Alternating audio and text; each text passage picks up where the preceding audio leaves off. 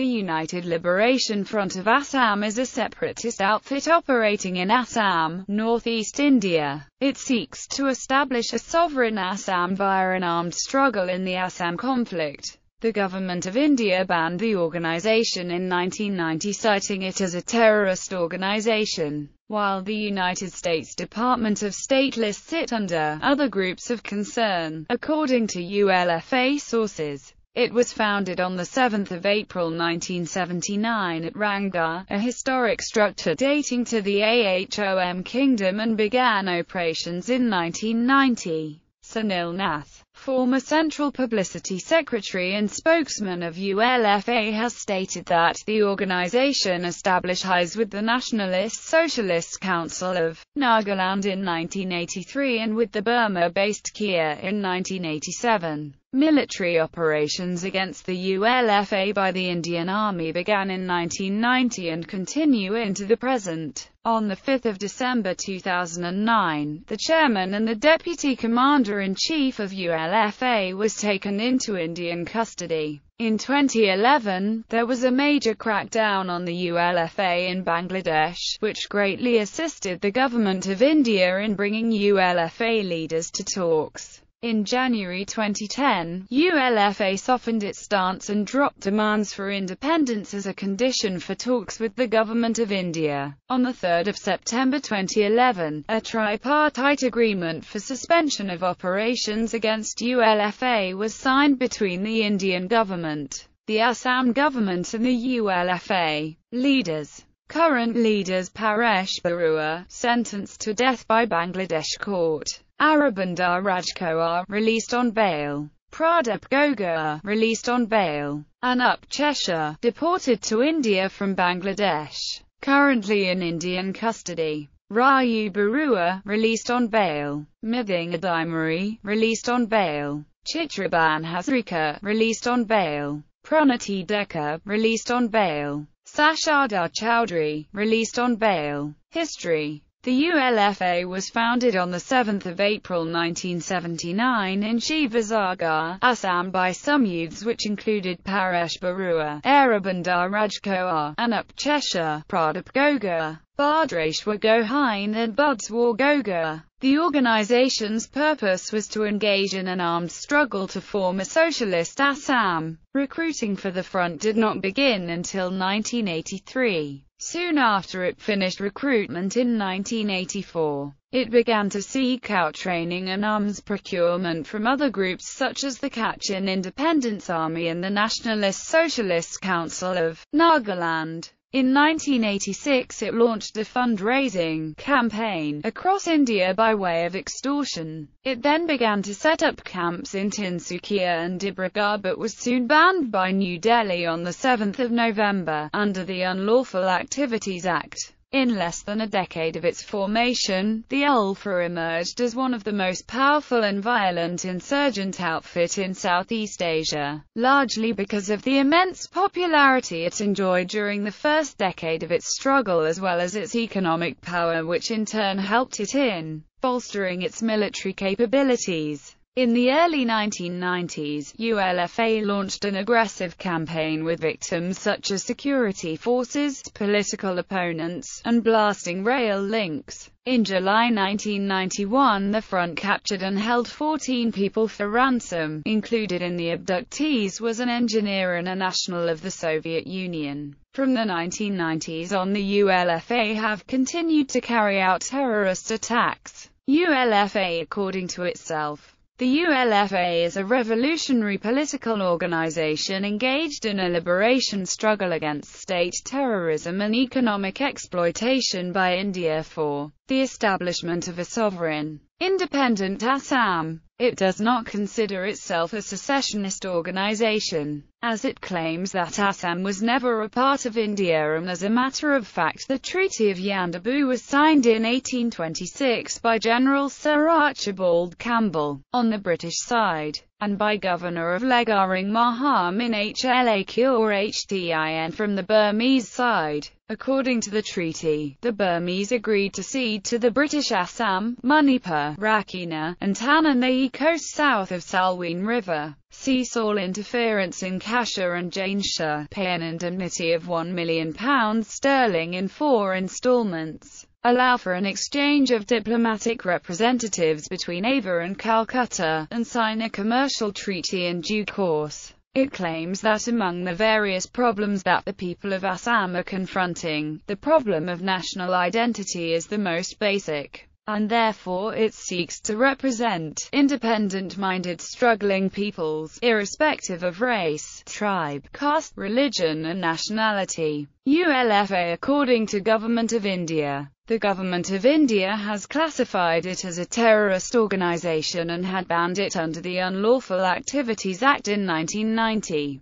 Concurrently, GOI started military offensives against it, named Operation Bajrang November 1990, Operation Rhino September 1991, Operation All Clear December 2003 and Operation Rhino 2 lead by the Indian Army. The anti-insurgency operation still continues at present under the unified command structure. The Government of India accuses ULFA of maintaining links with the Inter-Services Intelligence of Pakistan and the DGFI of Bangladesh and waging a proxy war on their behalf against India. Links to China The outlawed group has been using China for shelter following mounting pressure from both Burma and Bangladesh, in turn pressured by India. The outfit's top commander, Paresh Barua, is living near the Sino-Burmese border looking for an alternative position for a hideout. There are 50 ULFA militants holed up in China's Yunnan province led by the group's LT. Partha Jyoti Gogua. Major activities Assassinations Some of the major assassinations by ULFA include that of Surendra Paul in May 1990, the brother of businessman Lord SWRAJ Paul, that precipitated a situation leading to the sacking of the government of Assam under Prafulla Kumar Mahanta and the beginning of Operation Bajrang. On the ULFA's Army Day on 16 March 2003, an IED explosion under a bus on National Highway No. 7 killed six civilians and wounded approximately 55 others. In 1991 a Russian engineer, a national of the Soviet Union, was kidnapped along with others and killed. In 1997, Sanjay Ghose, a social activist and a relative of a high-ranking Indian diplomat, was kidnapped and killed. The highest government officer assassinated by the group was local AGP Minister Nagan Sharma in 2000. An unsuccessful assassination attempt was made on AGP Chief Minister Prafulla Kumar Mahanta in 1997. A mass grave, discovered at a destroyed ULFA camp in Laki Pathar forest, showed evidence of executions committed by ULFA. ULFA continues to attempt ambushes and sporadic attacks on government security forces. In 2003, the ULFA was accused of killing laborers from Bihar in response to an alleged molestation of a Mazor girl in a train passing through Bihar. This incident sparked off anti-Bihari sentiment in Assam, and ULFA saw it as an opportunity to regain its lost ground. The ULFA killed civilians of Bihari origin who had been in Assam for generations, and had been assimilated in the greater Assamese society. In 2003, during a Railways Recruitment Board examination for group posts conducted by North Frontier Rail, a good number of candidates from Bihar and other states were beaten up and stopped from taking exam by some elements who were seeking 100% reservation for the Assamese non-employed long ahead of the date of the said test.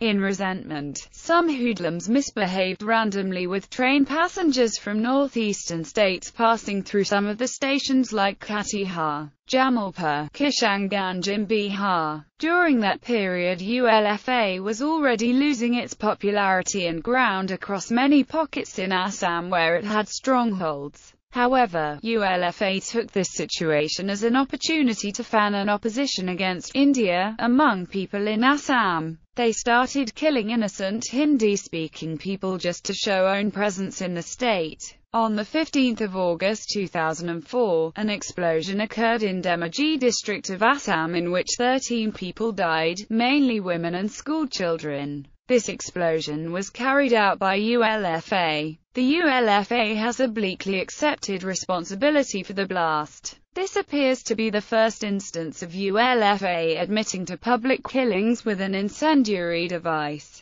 In January 2007, the ULFA once again struck in Assam killing approximately 62 Hindi-speaking migrant workers mostly from Bihar. ULFA notoriety as a directionless and unpopular organization increased, as the bomb blast victims also included several ethnic Assamese people. The central government made a tough response forcing a dreaded group of ULFA 28 Battalion to unilaterally bow down and seek asylum from the government. This particular one-sided ceasefire broke the backbone of ULFA. On 15 March 2007, ULFA triggered a blast in Guwahati, injuring six persons as it celebrated its Army Day. Economic subversion The ULFA has claimed responsibility for bombings of economic targets like crude oil pipelines freight trains and government buildings, including the 7 August 2005 attack on oil pipelines in Assam. ULFA carried out a bombing and destruction of a 5 million litre petrol reservoir at Digboi refinery in Tinsukia, with an estimated property loss of Rs 200 million. On the same day they also damaged the gas pipeline in the oil district of Tinsukia. Recruitment in the initial years of the ULFA movement. Cadres were recruited from rural areas as well as from many towns in Upper and Middle Assam districts one of the most popular ULFA leader of all time. The late Hirak Jyoti Mahanta hailed from a place which is just a few kilometers from the state capital Guwahati. However, with the Assamese urban middle class becoming increasingly skeptical of ULFA's method of functioning, the ULFA targeted the remote villages and the tribal areas for recruitment. According to intelligence sources, the Paresh Barua faction of the ULFA, which have been continuously raising its voice against the ongoing peace process being initiated by the Arabinda Rajkhowa faction, is engaged in a massive recruitment drive in the rural areas of Dibrugarh, Tinsukia, Sivasagar, Lakhimpur and Nalbari districts of Assam. The ULFA also has strong following among the Naga people in the tribal areas of Assam. Political activities after 1985 and before it was banned in 1990, ULFA was credited in the media with many public activities. It has continued a public discourse of sorts through the local media, occasionally publishing its position on political issues centered around the nationality question. It has participated in public debates with public figures from Assam. During the last two local elections, the ULFA had called for boycotts. Media reports suggest that it used its forces to intimidate activists and supporters of the then ruling parties extortion The ULFA is credited with some bank robberies during its initial stages. Now it is widely reported to extort businessmen, bureaucrats and politicians for collecting funds. In 1997, the Chief Minister of Assam accused Tata of paying the medical bills of the ULFA Cultural Secretary Pranati Deka at Mumbai Hospital. Organized criminal activities The ULFA is not involved in any other organized criminal activities such as drug trafficking and arms trafficking. Other activities The ULFA is reported to maintain a number of camps in Bangladesh where members are trained and sheltered away from Indian security forces. In April 2004, police and Coast Guard intercepted unloading at Chittagong of a massive amount of illegal arms and ammunition, being loaded into 10 trucks and believed intended for ULFA. A total of 50 have been charged with arms smuggling and arms offences, including former high-level Bangladesh political appointees. Including Bangladesh National Party ministers and national security intelligence military officers, as well as prominent businessmen. And Paresh Barua, military wing chief of ULFA, then living in Dhaka. He fled the country. Trials were still underway in Chittagong in 2012 under tight security. Until recently, they had maintained camps in Bhutan, which were destroyed by the Royal Bhutan Army aided by the Special Frontier Force in December 2003. These camps housed combatants and non-combatant families of ULFA members. The ULFA maintains close relationships with other separatist organizations like NDFB, KLO and NSCN. Surrenders Beginning in 1990, the Government of India has attempted to wean away members of the ULFA. This occurred due to the death of the ULFA's Deputy Commander-in-Chief Hirak Jyoti Mahanta on 31 December 1991. He had opposed surrenders, but they began after his death.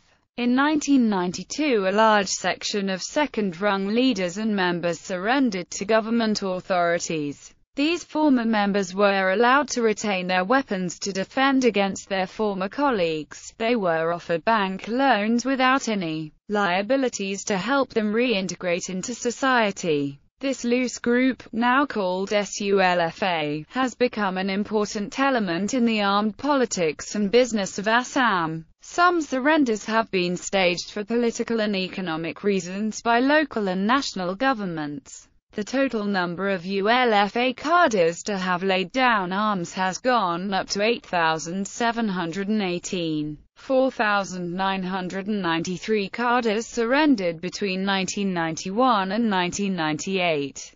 3,435 surrendered between 1998 and 2005, when a new policy to deal with the ULFA was unveiled. On 24 January 2012, one of northeast India's biggest surrender ceremonies took place in Assam's main city of Guwahati, when a total of 676 militants laid down their weapons. The Home Minister gave them roses secret killings of ULFA family members. During the government of AGP leader Prafulla Kumar Mahanta, unidentified gunmen assassinated a number of family members of ULFA leaders. With the fall of this government following elections in 2001, the secret killings stopped. Dinesh Barua, the elder brother of Paresh Barua, military wing chief of ULFA in the 2000s, was taken from his house at night by unidentified Assamese men, along with armed military officers. Later his body was found lying near a cremation center in Chabua. ULFA's publicity secretary, Mithinga Daimary, lost five members of his family during this period. Government investigations into the killings culminated in the report of the Saikia Commission, presented to the Assam Assembly 15 November 2007. The report describes how the killings were organized by Prafulla Mahanta, then the Assam Home Minister. They were executed by the police, with cooperation from the Indian Army. The gunmen were former members of ULFA who had surrendered to the government. They approached the targets at home, at night, knocking on the door and speaking in Assamese to allay suspicion. When the victims answered the door, they were shot or kidnapped to be shot elsewhere. Negotiations, talks. The ULFA has put forward a set of three preconditions for talks and negotiations with the Indian government. The government has rejected these preconditions. The preconditions are, the talks should be held in a third country, the talks should be held under United Nations supervision. The agenda of the talks should include the sovereignty of Assam. In 2004, the ULFA dropped the first two preconditions and offered to talk with the government. The government of India was not ready to negotiate on the issue of sovereignty. Still some progress was made when the ULFA formed a People's Consultative Group in September 2005 to prepare the grounds for an eventual negotiation between the government and ULFA, which the government has welcomed. In a sustained operation launched by Indian Army inside a national park in Dibru-Saikhowa, ULFA lost its hides and camps, important leaders and cadres. The group came to the negotiating table in 2005. According to the India Times, talks were first held in December 2005 at the residence of the Prime Minister, Manmohan Singh. There were three rounds of peace talks with the 11-member People's Consultative Group, headed by noted Assamese writer Indira Goswami, leading to a temporary truce in August 2006. However the truce broke down by the 23rd of September of the same year as ULFA continued with its violent activities against civil population mainly tea estates and oil pipelines. It also violated ceasefire as it lobbed grenades on army columns during the ceasefire period ceasefire by a portion of 28 Battalion of ULFA. Some leaders and cadres of the A and C companies of ULFA declared unilateral ceasefire on 24 June 2008 at a press meet held at Amapa in Tinsukia district. Declared the ceasefire to pressurize the top brass of ULFA to sit on negotiation table with the government of India. But the top brass of ULFA expelled the leaders of 28 Battalion led by Mrinal Hazarika and Jiten Dutta. The group later renamed as ULFA. Currently the 28th Battalion is under commandership of LT Bijoy Chinese alias Bijoy Das. All the battalions have now been disbanded and only part of 27 Battalion renamed as Kapalagut remains. There are no commanders other than Paresh Barua. All the others have been downgraded to staff and workers renewed peace initiative, with the arrest and deportation of top Ulfa leaders by the Bangladesh government to India. The once stalled peace process received a boost when the jailed Ulfa leaders took the initiative in forming a citizen forum comprising intellectuals, writers, journalists, sympathizers and professionals from various other fields that would act as a catalyst in bringing the government of India and the rebel Ulfa to the negotiating table. In a state-level convention held in Guwahati on 24 April 2010, the forum passed a set of resolutions to expedite the peace process between government and the ULFA. These resolution include sending an 11-member team to Delhi to put pressure on the centre to hold talk with ULFA at an earlier date. The convention resolved to urge both government and ULFA to come forward for talk without any condition. Moreover, the convention in a resolution demanded immediate release of ULFA leaders for from jail. According to the Indian Army sources, the total strength of ULFA is around 3,000 while various other sources put the figure ranging from 4,000 to 6,000. A military wing of the ULFA, the Sanjukta Mukti was formed on 16 March 1996. SMF has three full-fledged battalions, the 7th, 8th and the 709th. The remaining battalions exist only on paper at best they have strengths of a company or so. Their allocated spheres of operation are as follows. 7th BN is responsible for defense at General Headquarters. 8th BN, Nagaon, Morigaon, Karbi Anglong 9th BN Golaghat, Jorhat, Shivasagar 11th BN Kamrup, Nalbari 27th BN Barpeta, Bongaigaon, Kokrajhar 28th BN Tinsukia, Dibrugarh 709th BN Kalikhala in the past decade nearly 2,500 militants including about 200 women cadres have surrendered to the government.